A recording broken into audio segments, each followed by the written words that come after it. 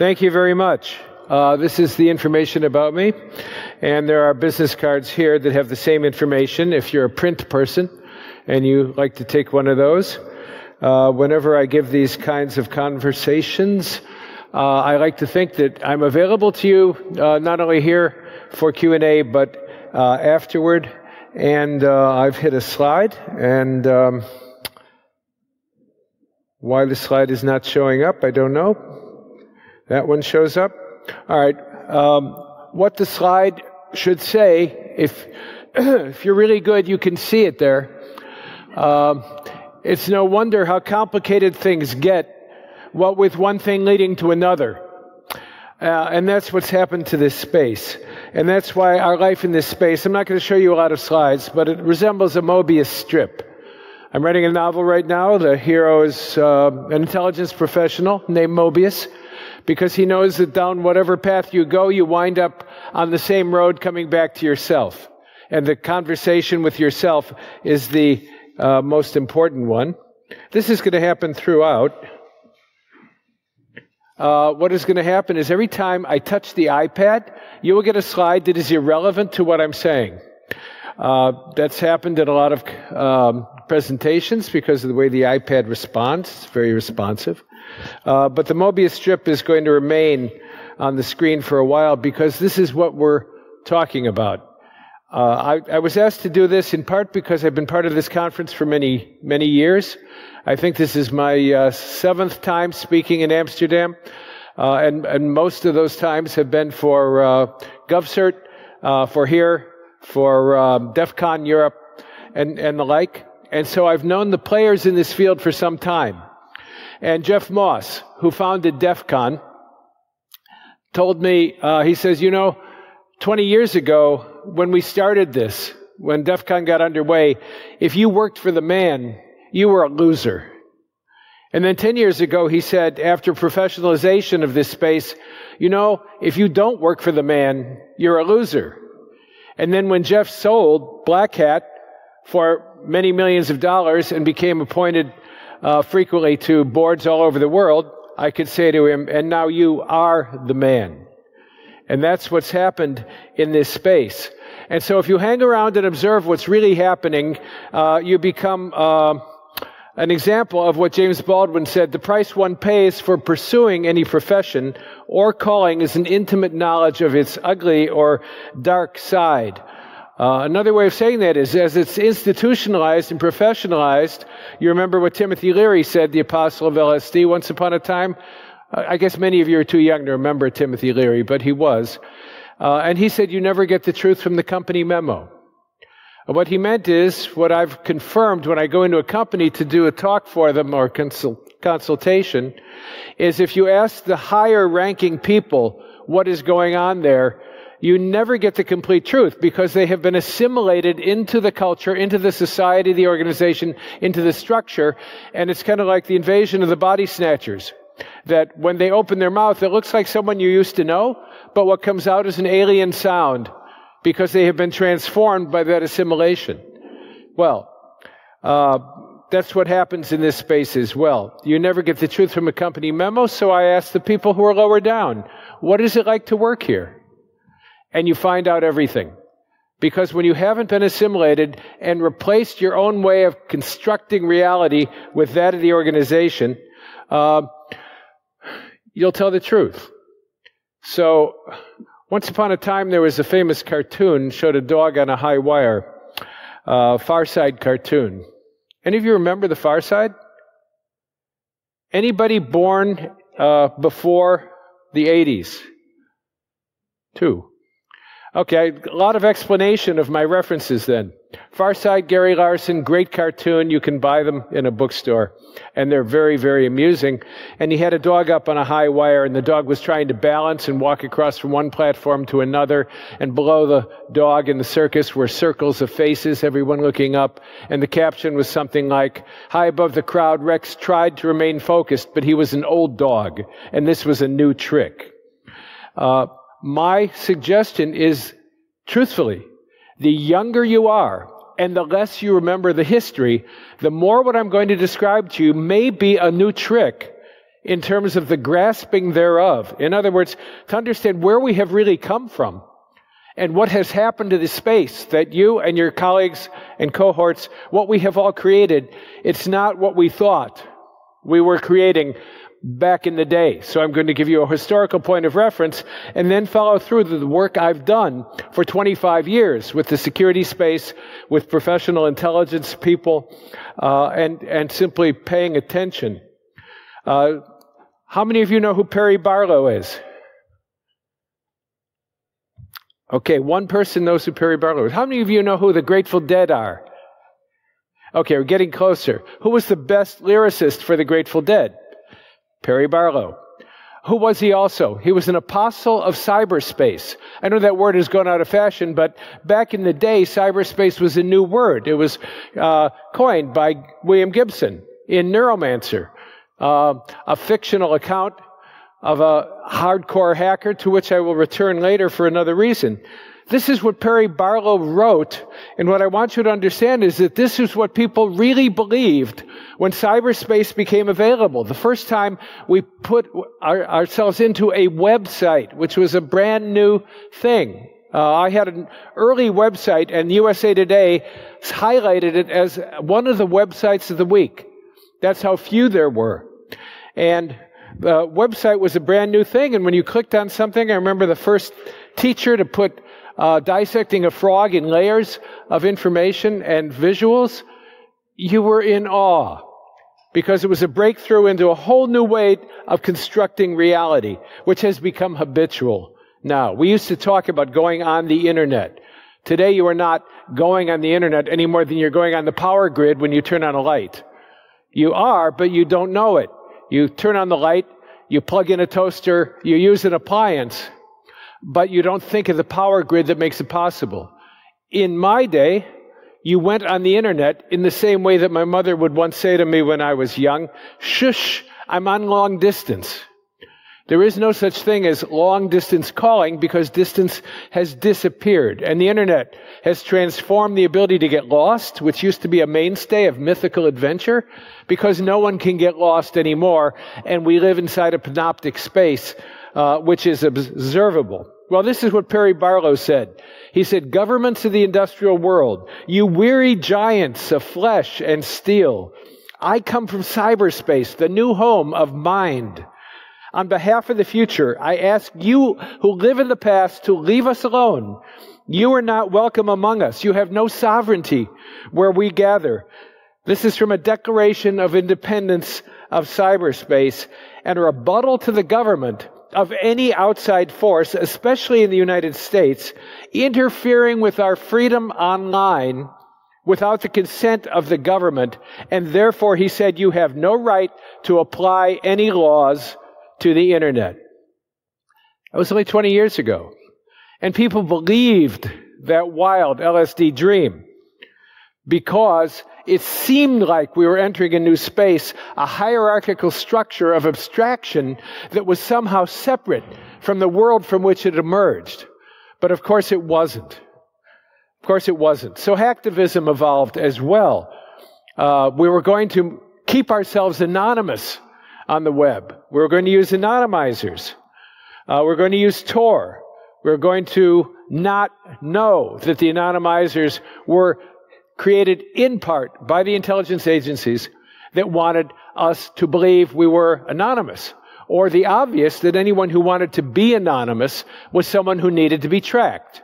Just like anyone who uses encryption is someone who's trying to hide something and becomes a much more immediate target. The same is true of Tor. Uh, it, these these uh, mechanisms don't enable you to operate in a trusted way. Because trust is not transitive on the internet. A, trust B, B, trust C. That doesn't work. You don't know, and you know you don't know uh, who you're talking to. What is trust? I go back to Lyndon Johnson. How many of you remember Lyndon Johnson? Uh, okay, my wife. Thank you, dear. Thank you for sitting up front. Lyndon Johnson was president after Kennedy. He became president when Kennedy was murdered. And Lyndon Johnson said, Trust is when you have them by the balls. That was his understanding of political power. Uh, and, and, and that has turned out to be true, whether it's in cyberspace or meat space. So we were going to get information and disseminate it in a safe, secure way, or so we thought, on behalf of justice, freedom, and ultimately peace in the world. So how did that work out?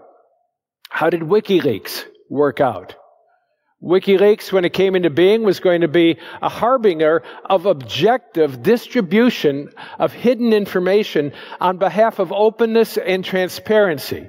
It was not going to be a partisan player in geopolitical politics that were inevitably going to get pushback from whichever side you adhered to from the other side. So Julian Assange was thought by many, and still is by some, to be a great hero on behalf of that process. But where is Julian now? He has just moved from one cell to another cell. And after that, he's going to go to another cell. Why do they do that? Because information does not want to be free. Information wants to be used in whatever way the people who have the information can use it on behalf of what it is they intend to do. And that means the technology you have created is dual use. And anything good that can be done with it can be reversed. And the reverse is always anything bad can be done with it. So should we be surprised when Perry Barlow said this was a separate world and people believed that cyberspace was a whole domain of existential reality separate from anything we had experienced before, uh, they were overlooking something. Uh, they were overlooking that who, who had created the internet? Uh, it came out of ARPANET. ARPANET became DARPA. Uh, ARPA became DARPA, the Advanced Research Project, military, corporate, academic. You know that it was created by a small group of military, corporate, and academic people for the easy and free exchange of information among people who in meat space already trusted one another. And security was one of the lowest priorities, if at all a priority, because they wanted openness and freedom of access. And as a result, when it suddenly exploded and ported to a domain on which all business, all government transactions so much was done without security, we have created a kind of abyss into which we stare every time we go on the internet, of which the presentations at this conference and other conferences all over the world are primary examples. In other words, it's full of holes, it is Swiss cheese, and it is never going to be fixed.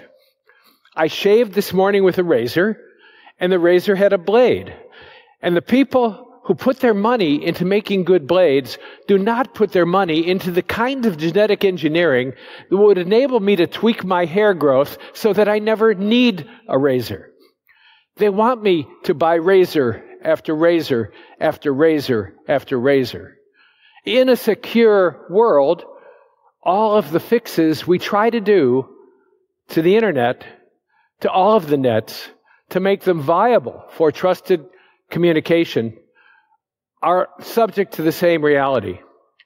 Uh, we don't want to fix it because it has grown into a multi billion dollar business.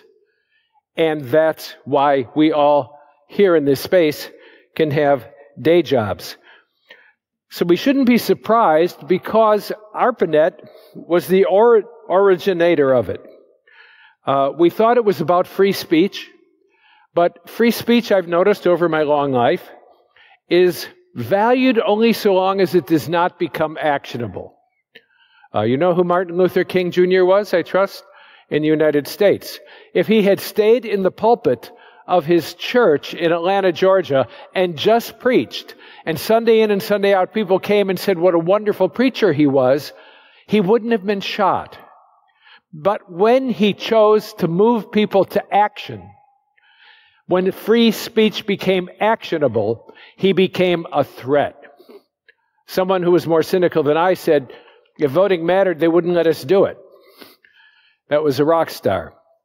Martin Luther King Jr., no need to shoot if he's just talking. No need to shoot me.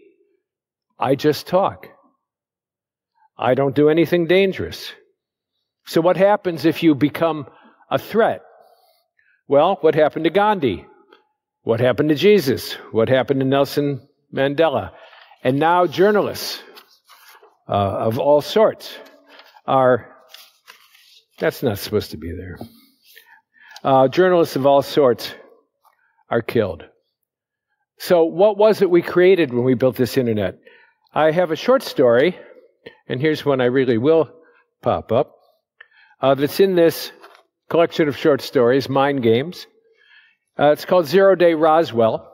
And in that short story, the aliens have come and crashed their spacecraft in Roswell so that we will discover the technology with which to build the internet. And why did they do that? Because they are bored going to cocktail parties in Georgetown in Washington and doing intelligence the old way. They wanted us to build the internet so we could put everything about the human psyche onto it. And then instead of having to work hard to discover who we were, all they had to do is download the gestalt the whole.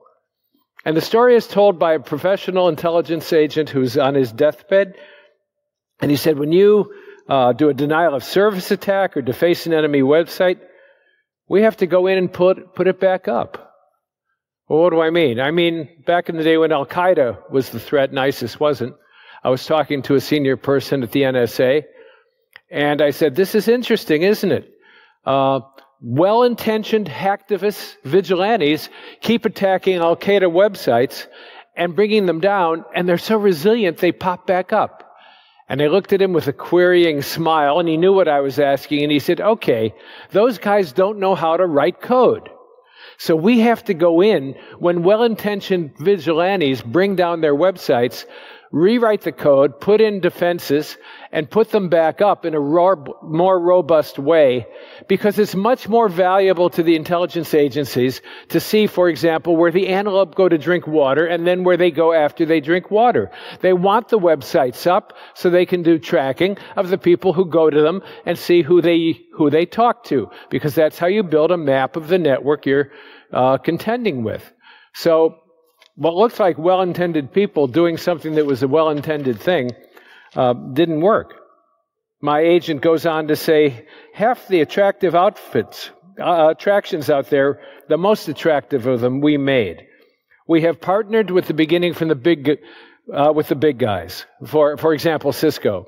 Uh, shouldn't have been a surprise to anyone who wasn't starry eyed to know that every time Cisco shipped routers, they were taken aside for a brief interruption while backdoors were inserted in them and they were put back in the mail when people wanted the destination address to have that enhanced router so that people uh, could get in. We built remote access into the chips. We worked with Microsoft, Oracle, Apple, you name it, from the very beginning. Uh, I could say all this and more uh, because I was writing fiction.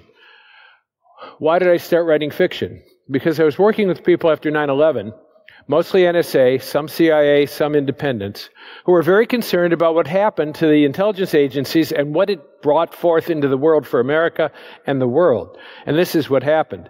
The director received an order from the Bush White House called Executive Order 12333, and it said, gather up everything. Gather up everything. Because if you're trying to protect the entire interface of the world, as a friend said, my job is simple protect the entire internet. That's all I have to do from attackers who need to find only one, one way in. Protect the entire internet. And so, when you're trying to protect the entire internet, you discover very quickly uh, that you can't. Uh, and the NSA challenge, the NSA challenge, according to a friend at CIA who said this recently, is, quote, the challenge is how to destroy freedom in order to save it. Those of you who, who know the history of Vietnam know that we, we that there was a fair, famous saying after a village was entirely obliterated uh, during the war, we had to destroy the village in order to save it.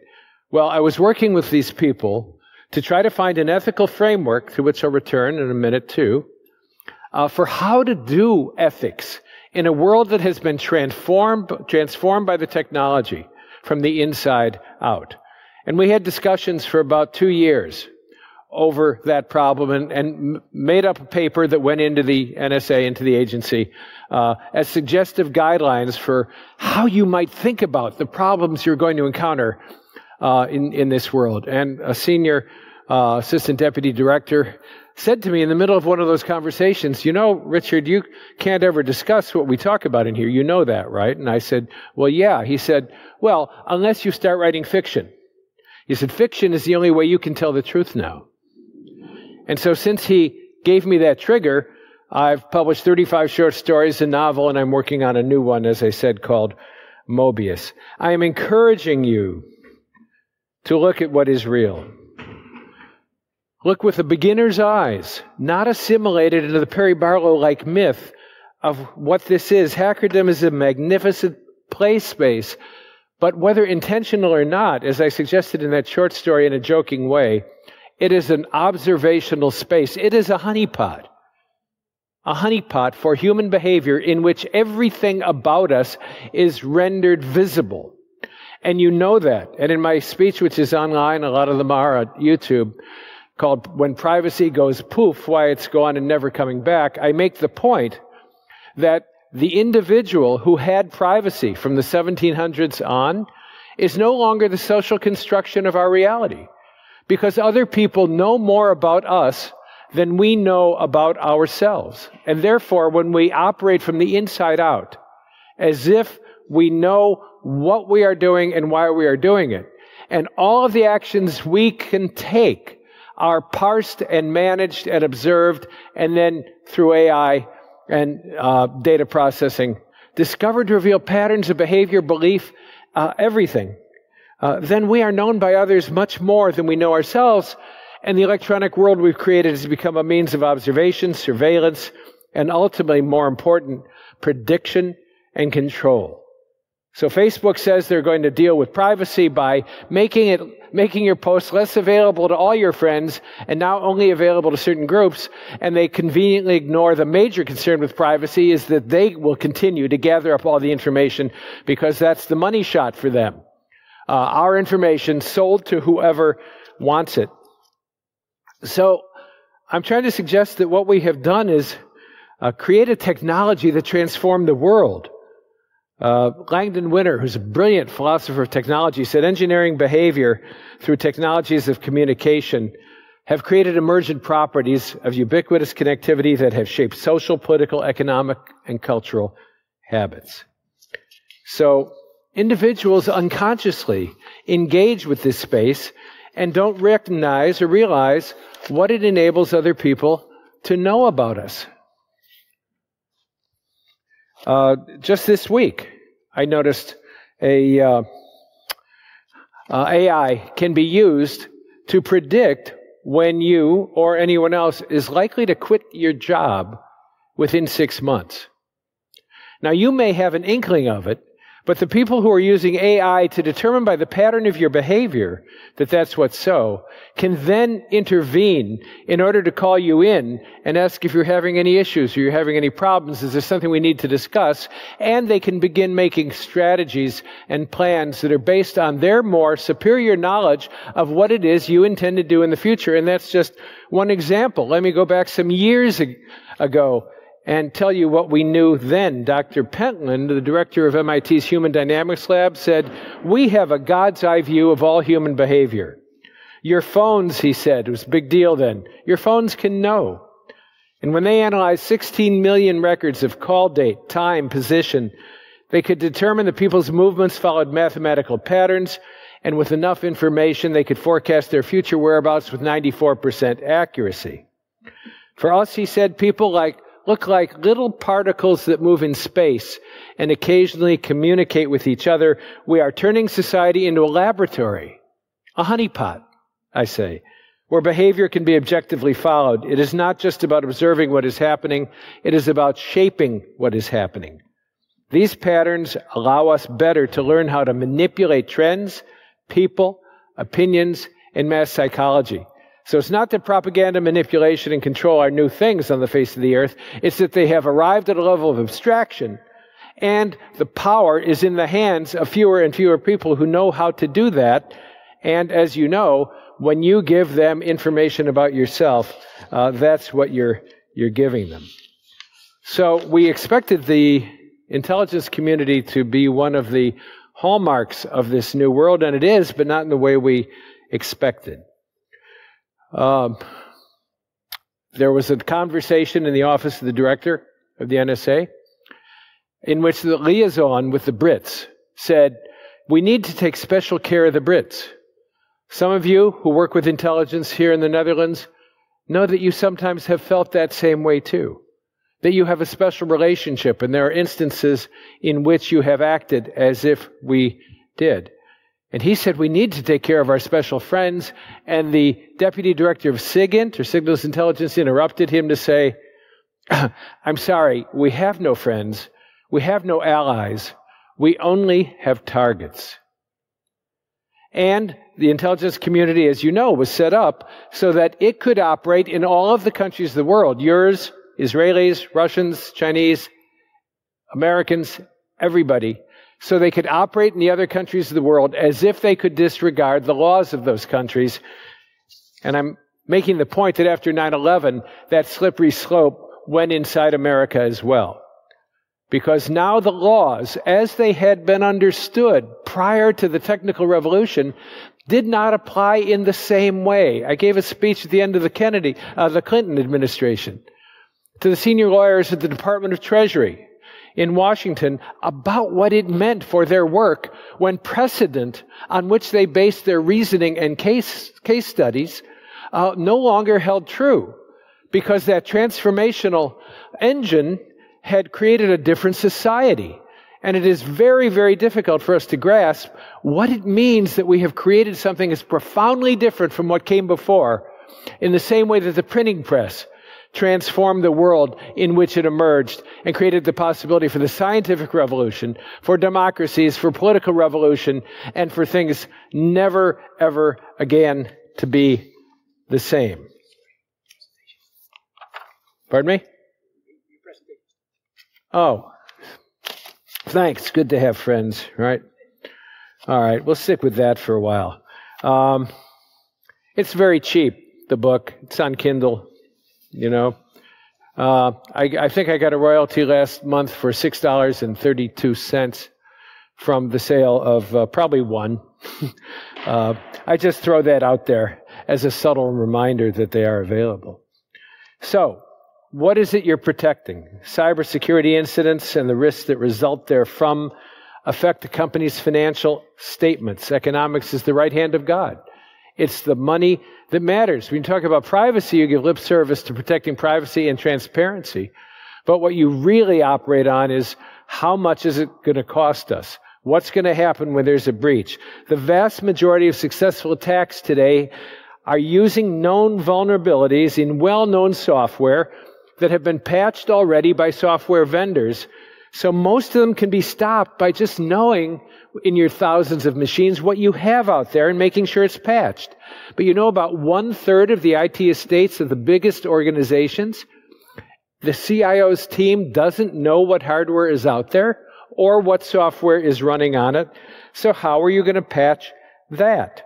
The quote uh, from one of them is, I don't know those machines exist or the software running on those machines exist.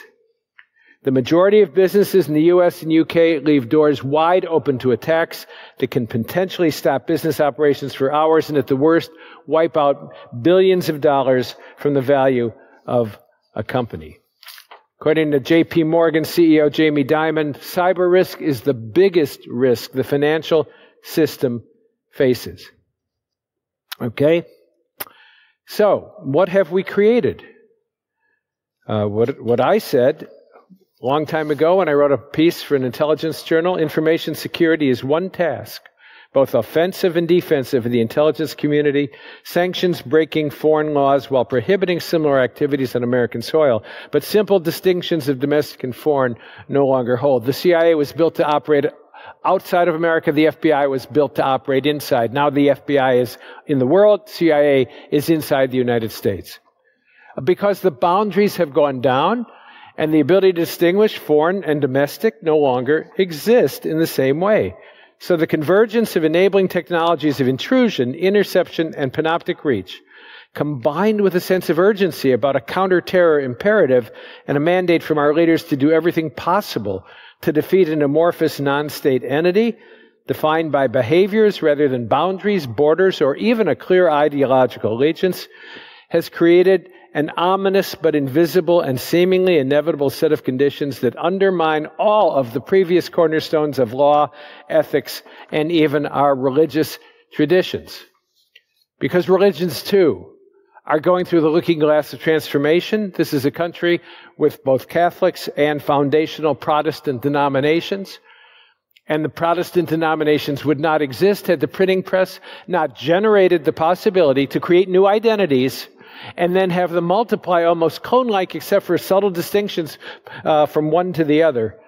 And we are going through the same kind of transformational looking glass for our religions and our politics. And it's one of the reasons why political discourse in the United States is mired in a 20th century framework of the world, not in the 21st century, because we are trying to talk as if nation states still hold the absolute un contested power in the world rather than transnational non-state enemies where the alliances mix and match in the trenches. And every time I've talked to people in the intelligence community, they know this is what they're up against. It's what kind of deals can you make now with who on behalf of the momentary intention and goal of your process or program because they know the primary goal of security and intelligence work is to tell people in the world that when they go to sleep tonight, they will wake up in a world that is pretty much the same. It is to comfort and assuage the burdens and cares, anxieties and fears of people who have trouble grasping what it is that I'm talking about and whose cognitive dissonance as a result uh, raises itself higher and higher. But as Nietzsche said, in the face of the unknown, which confronts us with fear and anxiety, the first explanation that makes any sense to people, regardless of its accuracy, is what people will grasp if it comforts them and makes them feel better and alleviates their cognitive anxiety. So, stability, the persistence of structures even while they're changing, the continuity of identities even while they're changing, all this work has evolved and we are having profound disruptions as a result, and it is difficult to talk about it in a realistic way, even in a small way. Uh, hackers, you're hackers in the best sense of the word. And they created a dichotomy, uh, not a dichotomy, a hierarchy of black hat, gray hat, and white hat hackers. And I took a look at who were really in each one of those categories, and I realized that a black hat hacker was what we call a hacker. And a gray hat hacker was a hacker who put the truth down somewhere, but knows very well where he put it. And a white hat hacker is a hacker who puts the truth down somewhere and then forgot where he put it. Hackers. It's all about the tools and techniques that enable you to penetrate these complex systems, which are wide open and invitations for penetration. And it raises the, the, the uh, question of ethics. Well, what does ethics look like? There are real Dutch heroes. Does the name Freddie Oversteegen mean anything to anybody? Freddie Oversteegen. Okay. At 14, she became an assassin and saboteur against the Nazis here in her home native Netherlands. Germany had invaded. She'd been recruited by the local Dutch resistance commander in Haarlem. He said, What you have to do is learn to shoot Nazis. I remember my sister saying, She said, Well, that's something I've never done. The sisters, along with a woman named Hannie Schaft, became a female underground squad, part of a cell of seven that killed collaborators and occupying Nazi troops. They staged drive by shootings from bicycles. They lured German soldiers into the woods where they killed them. And Freddie died at 93 and her death was announced by the Hannie Schaft Foundation, named after that third young girl, which had been started in their memory because Schaft had been captured, tortured, and executed by the Nazis 18 days before the liberation of the Netherlands at the age of 24. Why am I bringing her up? I was hoping, I have to admit, hoping against hope, with the absence of historical relevance everywhere in the world today, that you knew your own heroes, Because what is the value of your heroes but what the religious people call anamnesis, the memory captured and brought forth into the present with such vividness and power and palpability that it lives again, that those memories, those saints, uh, the hagiography, the story of your personal saints in technology, in the Netherlands, for your history, must be captured as examples. In her case, she died at 93, but in the case of the other one, she was tortured to death as a young girl. Count the cost. And so, if you can, if you contend with the powers that be that have created this world, uh, you, you, know what happens to whistleblowers. Uh, how many of you have seen? Here's one. I, I bet I'll get more hands. Game of Thrones. Okay, a few more. Game of Thrones. So what do they do when they cut off somebody's head, like Ned Stark? You put it on the gate. And then everyone who comes into that gate knows what happens to whistleblowers. There's a law firm in uh, Washington, D.C. that handles whistleblowers, and they, they say uh, there's only one thing that will get you through the courageous articulation of the truth when you find yourself in a dicey situation and feel compelled to tell the truth, and that is a conscience that will not ever quit. If you are motivated by money, revenge, anger, any other lesser, lesser good, you will cave because of what the powers that be do to whistleblowers. You count the cost and you evaluate whether or not if your values are those of a hacktivist or a vigilante or a real hacker. Uh, you evaluate what it is you can do and how you can build trusted networks of people committed to values that have, while they're changing, have nevertheless been the mainstay of the human soul, the mainstay of what it means to be locked into our humanity instead of just being expedient in going along to get along. The cost is significant. The last talks I've done at DEF CON, I've spoken at DEF CON now, last, last summer was the 23rd straight year. The first year, there were 375. Last year, there were 40,000. It's a big change, and I have grown grown with that conference. And the talks I gave last year and the year before were about what it can do to you in the intelligence community, what it can do to you doing professional intelligence work, and what security work can do to you if you are not mindful and vigilant because of the ethical dilemmas in which you may find yourself entangled if in fact you have the courage to persist in those situations and allow those ethical entanglements to ripen and become true in your life. So what you do with that will be different depending on what it is, well, who it is you are and what you can tolerate in terms of what it is that you have to do. Let me give you an example.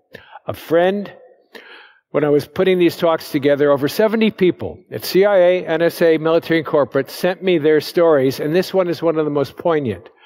He was a senior scientist at CIA for almost 20 years. He was very clever, and he took a toxin from the leafcutter ant, and a, or a toxin from a butterfly, and a fungus from a leafcutter ant, and a couple of other chemicals that are best left unnamed, and he developed a procedure for destroying the coca crop in South America. The coca crop, of course, is the origin of cocaine. And if he destroyed the crop, then cocaine was going to stop flowing into the United States. And he went to a country in South America and tested it undercover, and it worked beautifully. It eliminated the coca crop, and he came back to get permission. And they said, well, maybe you better not do that because that sounds like uh, biological warfare, and we can't do that. So he showed them why it did not meet the rubric or strictures for biological warfare.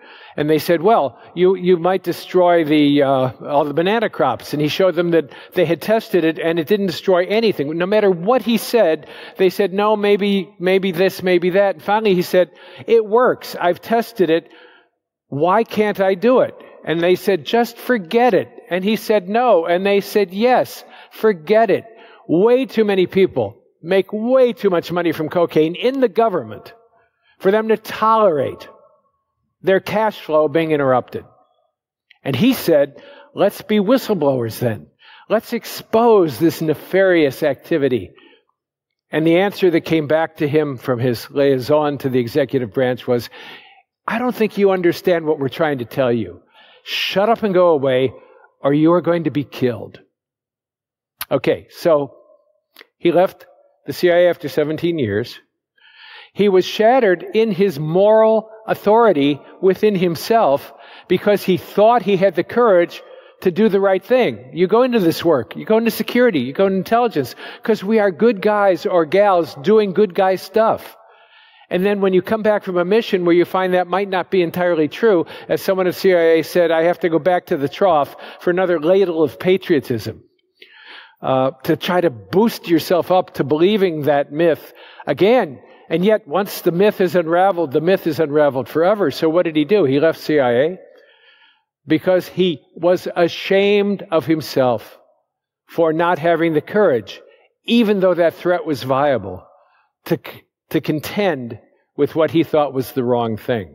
I don't have time to tell you several other stories that other people have come up and told me that corroborated that story. Uh, this is not fanciful stuff. This is not Hollywood stuff. But Hollywood stuff is important here because movies, films, are how people get ideas into the mind of society. I had producers and directors say that. They said, look, you want to get something in, just like my friend who said, start writing fiction. Uh, this is the candy that makes it all go down easily and changes people's minds. So what kind of movies are big out there? Avenger, Endgame just made two billion dollars. Why? Because it's a comic book. Comic books and cartoons, excuse me, full length animated features. We used to call them cartoons, are all over the multiplex. Why? Go back to those books that I mentioned in the first place, like Neuromancer by William Gibson or Snow Crash they were all loner hacker heroes. And the purpose of narratives in which loner hacker heroes, or the Stieg Larsson novels out of Sweden, in which loner hacker heroes can in fact take on the man and win, is a fiction. But it is a fiction that sustains and supports our self identity because we want to believe that as lone hacker heroes, we too can do that. So that we can, as Julian Assange said once, we're going to crush the bastards. Well, you learn in the gray world that we all inhabit that the bastards are everywhere and they can include you. And so things are not black and white. They are all gray and we have created an extraordinary edifice that is never going to be taken down as long as it generates as much money as it does. So what happens to other people? The chief scientist of the NSA, when I was talking to him at a conference, suddenly disclosed the truth of his life and began sobbing. And I held him as he sobbed because 11 people had died as a result of a mission for which he had done the intelligence background.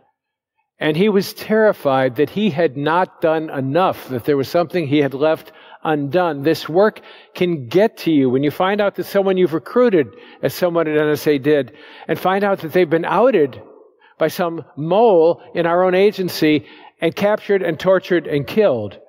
Well, in that case, that individual just started drinking heavily and had to be removed from his work with clearances until it was clear that he could get back on the wagon and do the work. And that was the only concern they had at the agency. Is he capable of doing the work? Not what does it do to him? So when somebody at CIA told me, I carry 24 suicides on my mind, and the latest have been senior people at CIA who could not live with what they knew. And a friend at NSA wrote not long ago, he said, We got an email saying, watch each other. And he thought, what the hell is that about? So he investigated and found out there were three suicides that week. And when I spoke to a recently retired deputy director of NSA, I said, I hear you had three suicides this week. He said, no, we didn't. We had six. I'm trying to say the stakes are very high, that you may find it an easier glide to find a niche in the industry that doesn't confront you with these realities, but it's quite possible that you may indeed find yourself confronted and it's important for you to have some idea of what to do when you do. We've been in this for a long time. People forget Marshall McLuhan. You know that name? Marshall McLuhan? Okay, one. I feel like Rip Van Winkle. Honestly, I, I went to sleep and I've awakened in the 21st century. And my points of reference is like when I go to the gym and they put on the music and I say, Can you put on some music? And they say, Oh, no, that's music. And I said, No, no, no. No, those are people who can't sing. They're shouting. They're screaming. It's grunge. It's not music. And then I remember my mother saying, Oh, God, Elvis Presley, the Beatles, you don't know Cole Porter. uh, so it goes from generation to generation. McLuhan said in 1970, World War III is a guerrilla war, information war, with no division between military and civilian populations. Blowback is the unintended feedback loops and consequences that come when we forget that the individuals on whose behalf we are doing the work is also the enemy. In fact, because operations aimed at the enemy blow back and affect the people here as well. Well, that's a whole, I just almost segued into a whole other talk, but uh, since this one is supposed to be winding down, I'm not going to do that. Uh, just face the reality of what you're doing. Here's a really good hacker who said to me, even when we do our jobs right, we're going to get owned. The real challenge is getting business leaders to accept that reality and allow us to redirect funding to programs that help companies deal with that.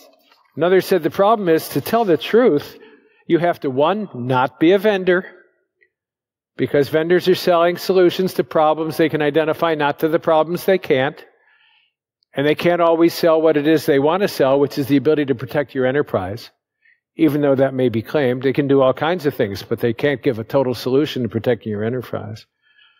He said, not be a vendor and be willing to spill the beans on getting owned. He said, if we're going to tell the truth, you have to stand up and say, I work security. My job is to prevent intrusions. We get owned a lot. So I kind of fail at my job. And sometimes it's really bad. And here's how we deal with it. In other words, you start with seeing the world as it is with beginner's eyes, with the clarity shorn of the mythologies that once captured this domain and made it seem innocent and serene. It is not. And you are going to find yourselves at crossroads.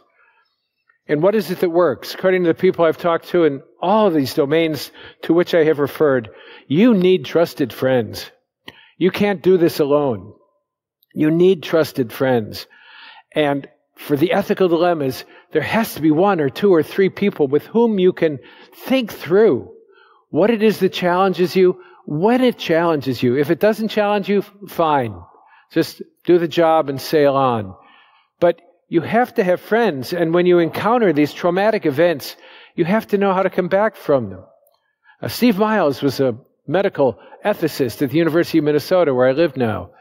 And he became alarmed at how many doctors seemed to be moving from torture to torture to torture when we began doing torture again. It wasn't enhanced interrogation. We were torturing people, and sometimes they died. A friend calls them oops deaths. You're working on somebody and oops. And then you call in a doctor to falsify the death certificate and say he died of natural causes rather than the nefarious things that were being done to him. So Steve noticed that there were a lot of doctors there and he got the material from the Freedom of Information Act, thousands of documents, all uncorrelated, and he connected the dots, who was where, when, and discovered that we were doing what we had insisted at Nuremberg was no longer to be done in the face of human rights that needed to be acknowledged and honored.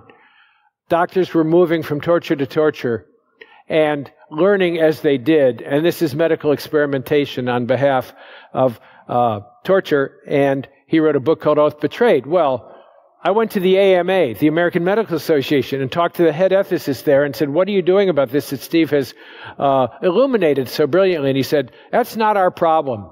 Let Steve go organize people if he thinks it's a problem. Every avenue we tried, the powers that be were uninterested in following out the obvious implications of that. But what did it do to Steve? He, as me, experienced secondary trauma from engaging with people who were traumatized. And it changed him. He would wake up sweating from nightmares, he said. Uh, he, he had to learn, he said, to accentuate the beautiful in life to find beauty and to put himself in those places where he could live with the scars that he had as a mark of his humanity. I'm not suggesting an innocent path through all this thicket. I am suggesting that you need to ameliorate some of the possibilities that could happen to you in this industry if you're not wary, mindful, and vigilant.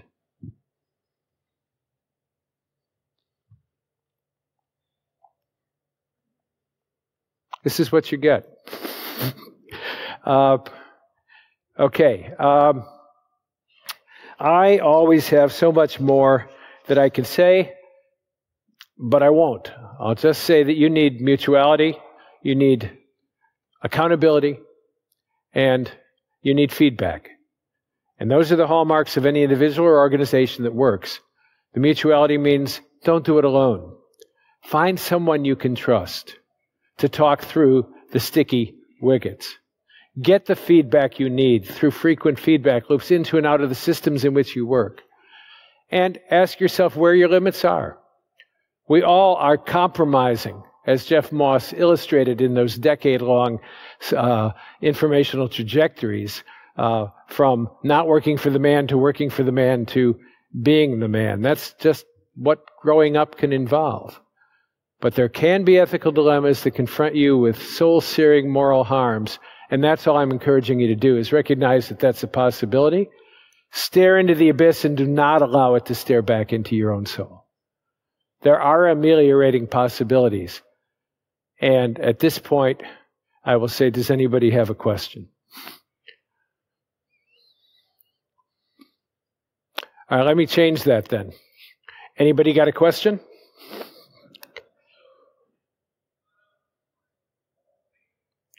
Question back there? No. No. Uh, I, I want to thank you very much for your presentation. And then my question was indeed, if there are any questions. Yes, of course. Uh, I don't know. Uh, I am old and long in tooth. And if we walk into, it's only four minutes from here, Dhillon said. Yes. If we walk into the party and it is so loud with head banging music, because that's what young people like, um, then not for long.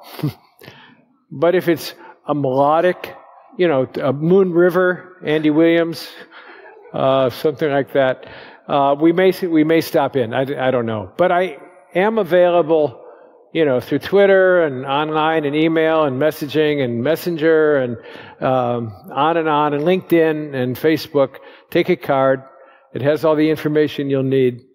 And uh, I do make myself available uh, for anybody who, as a result of any of the conversations like this that we have, wants to follow up when something does occur to them, when a conversation would be helpful.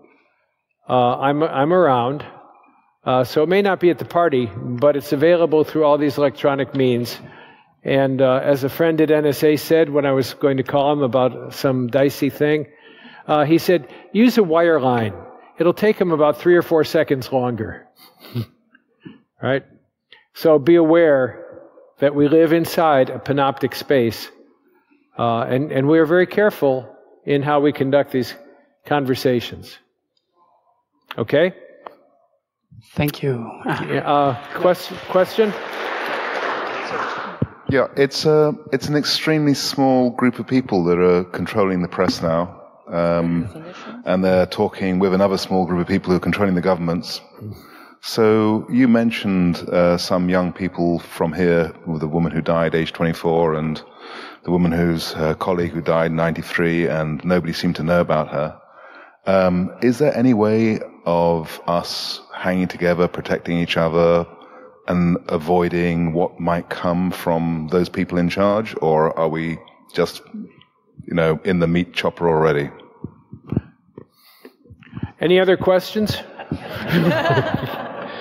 uh, that's that's it. That's the question, and uh, it doesn't have an easy answer. Uh, before WikiLeaks, someone I knew here said um, didn't have a name yet. He said it's not working to do the hacktivism we've been doing. We're going to have to be a little more active. We're going to have to go get some stuff. Uh, and he wanted to tell me that, and he wanted to tell me what was coming. Now, I'm coming to Amsterdam. This is what he said I'll meet you at the uh, Central Station, ride with you down to The Hague or the Rotterdam, wherever I was doing a speech then. Uh, and then we got off the train and we walked around in a crowd where no one could overhear us. And he told me what was coming, and then he got back on the train. He felt that that kind of activity was necessary. Uh, or the fellow at DEF CON, who I knew well. Um, and we used to talk about his work. It was very sexy, very cool work. But then he connected with NSA. He said, I signed the agreement. I can't talk to you anymore. And I said, okay, that's fine. And about six years later at DEF CON, he said, I've got to talk to you. So we, he insisted we leave the conference, walk down the strip in Vegas with his hordes of people, sit on the steps of a mall with people streaming by so he wouldn't be overheard. And he said, Are you familiar with the particularly named a terrorist incident? I said, Sure. He said, What do you think happened? I told him what I thought happened. Uh, he said, That's not what happened. I said, What happened? He said, He told me what happened. I was stunned. I, why was I stunned? Because he had pulled the cornerstone out from under my construction of reality. And what he told me said to me that I thought I was smart enough to know what was going on. I didn't have any idea. And that called into question everything I thought. And I said, How do you know this? And he said, Because I did it. And if you tell anybody that I told you, or put it in one of your short stories, because fiction is blah, blah, blah, I could be killed. But I had to get it off my chest. So now I'm carrying it, right? He understood that that method of communication was the only one we could trust. And he trusted me. It may be obvious, or you know from my history, that I was an Episcopal clergyman, a priest, for 16 years. And that has been the basis of a lot of the relationships I've had with these people. And they trust me to hold in confidence what I am told. And there are consequences for me of that in, in my work, but nothing dire and I stick with fiction, but I also hold these confidences and help people once in a while uh, be able to do the right thing without without suffering for it. Uh, small, very, very, very small, with very little impact. Uh, because look at China, look at the massive control system, and the authoritarian governments that here in Europe are gaining more and more and more power. And look at the idiocy we have going on in the United States. No one, no one in their right mind dreamed that a third or a fourth of the American people, or half, could entertain the, the, the, we couldn't grasp the willingness to enter a cult, a cultic reality where you can ignore the reality of what's in front of your own eyes. I mean, so this is, these are serious questions and it's a, their world. So in the case of the one I brought up from Netherlands, you were occupied. Um, some chose one way to go and some chose another. That was not easy, and you had to ultimately forgive people who, who chose expediency and to live rather than to risk being killed. So the cost for the one was to be tortured to death, but for the other, she accomplished what she could. And I am old enough to know that what we think we can accomplish when we're young is not anywhere near what we wind up looking back and saying, what was all that about? And yet, if you don't do what you can do, uh, it was a rabbi who said, you know, if, uh, if you're not for yourself, uh, who will be? But if you're only for yourself, what are you? And if not now, when?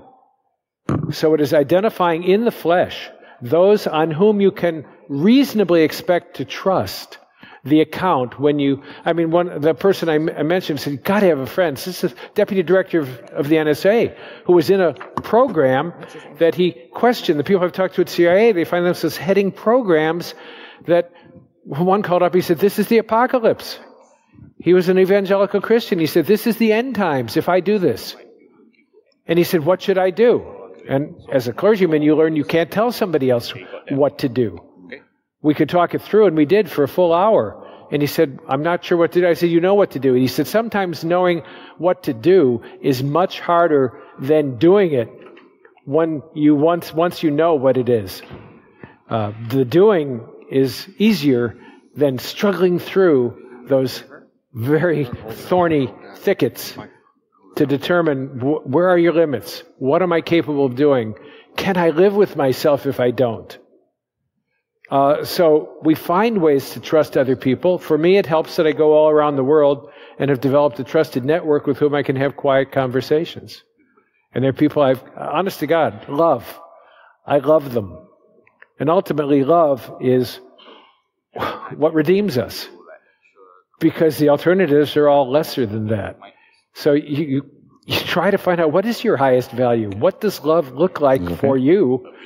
And how do I live out of that? Mm-hmm. And how do I build a structure, a system that has mutuality with the right people, sufficient feedback so I don't go off? And that's what my friend at NSA said. He said, without their feedback, I would not have been able to work my way through to how to protect the American people from intrusion and surveillance. At the same time, we had to implement some of these very, very difficult programs. So he didn't quit the agency. He's a hero. But he did what he could to determine how to protect the American people the best way possible. And, and the successes are always partial. They're, they're never complete.